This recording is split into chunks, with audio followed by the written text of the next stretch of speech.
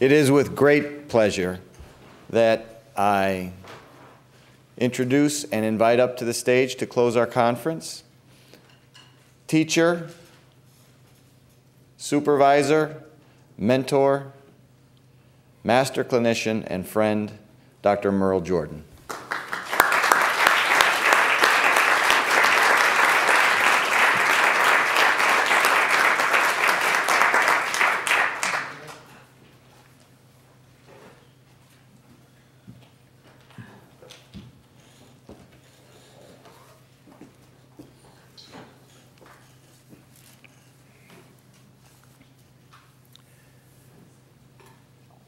It's been wonderful to be here.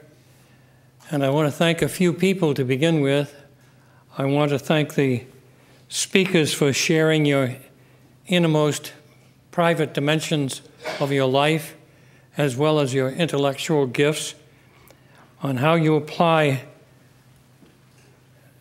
your spirituality to your therapeutic practice.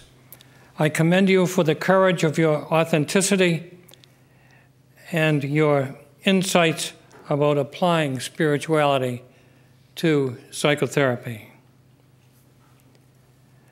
I also would like to salute the respondents and the uh, mediators uh, for their probing for further understandings and interpretation of the application of spirituality to psychotherapy.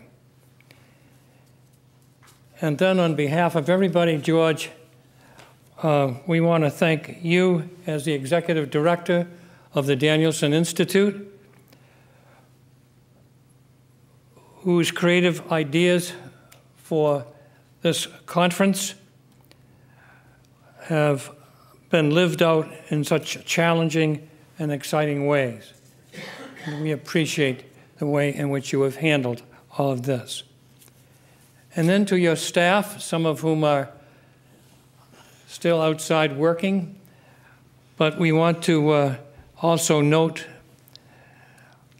how much of the detailed um, process of implementing and carrying out the hundreds of uh, facets of this gathering.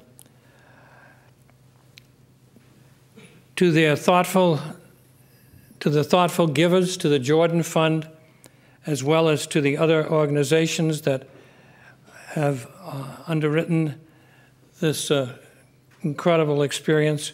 We are very grateful for your support and for all that you have provided for the fund and for this kind of very exciting conference.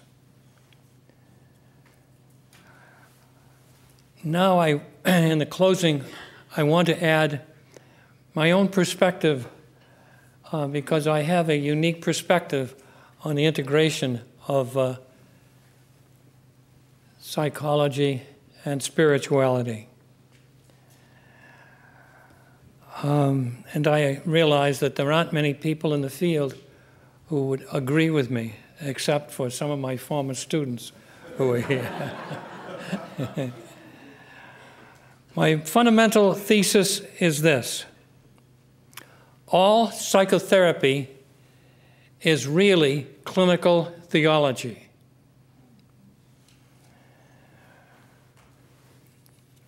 One's understanding of the depth and facets of another's life is best held in the context of the person's story and struggle being seen as implicit um, internal drama. Now, this begins with the work of an Austrian analyst, um, Wilfried Daim, who, out of his studies, came to the belief, and he was focusing mainly at that time on neurotics, but in the belief that all people come to their struggles by making uh, an ultimate power out of some uh, experience they've had in human relationships. And certainly, uh, speakers Dr. Wallen, in particular, really highlighted how true that was in his life experience. Um,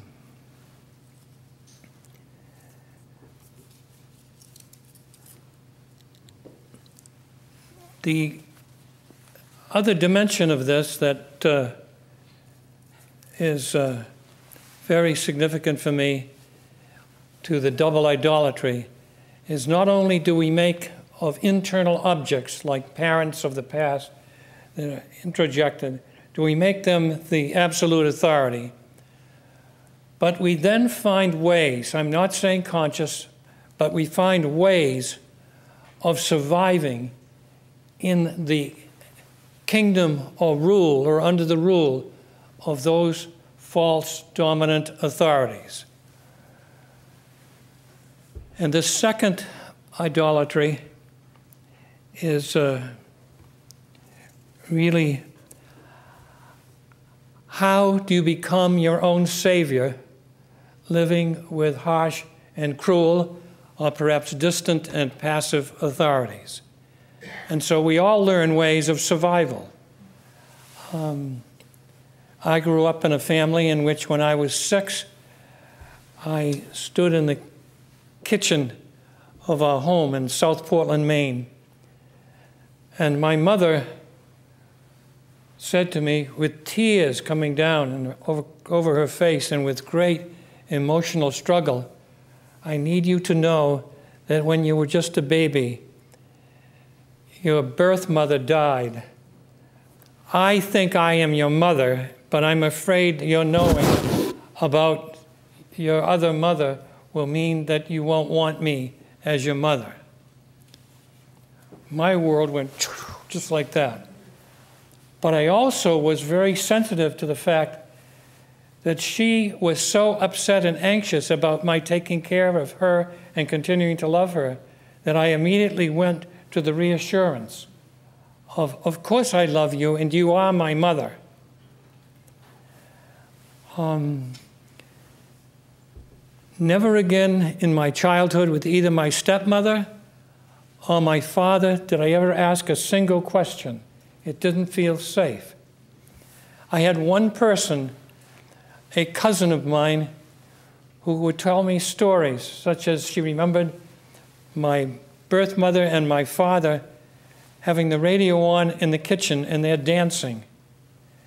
And she would tell about how she would go with my mother to the theater in Portland, Maine, and enjoy stage shows and so And so, in about two or three weeks, I am flying out to San Diego, where this cousin now lives, who is celebrating her 95th birthday and I'm going because she is so special as the one link to my mother. And would you believe, with all the therapy I've had, and I've been in lots of therapy and all kinds of supervision, etc., I'm still in individual and group therapy. I am finally learning that I don't have to give up being who I really am in order to survive in this world. It has been difficult for me to perceive that this world is a place in which I am safe to really be me and to go on in a constructive way.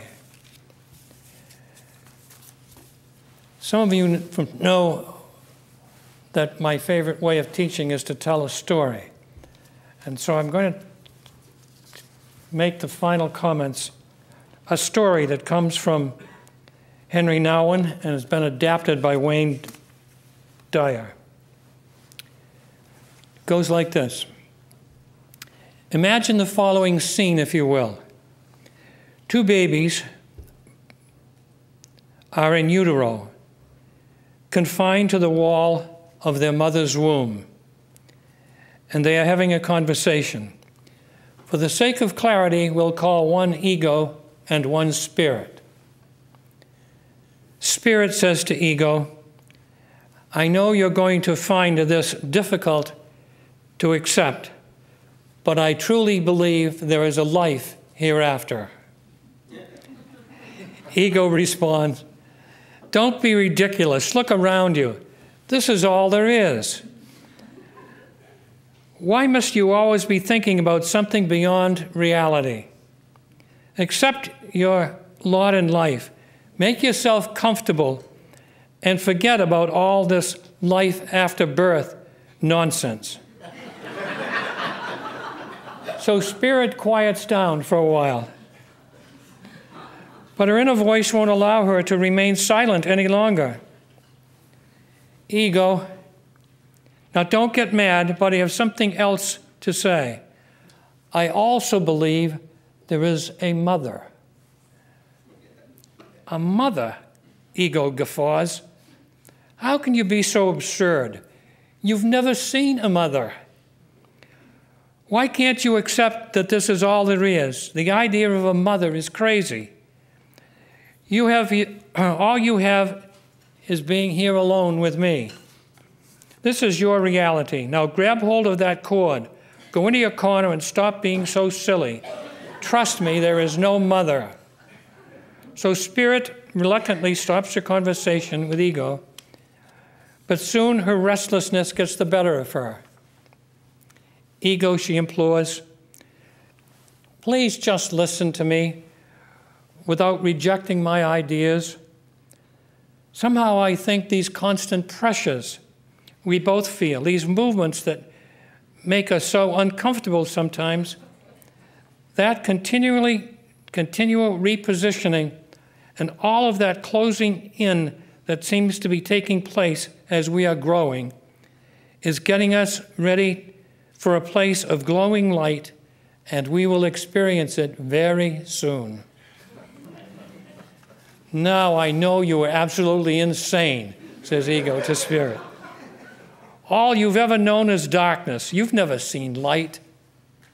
How can you even contemplate such an idea? Those movements and pressures you feel are your reality. You are a distinct, separate being. This is your journey.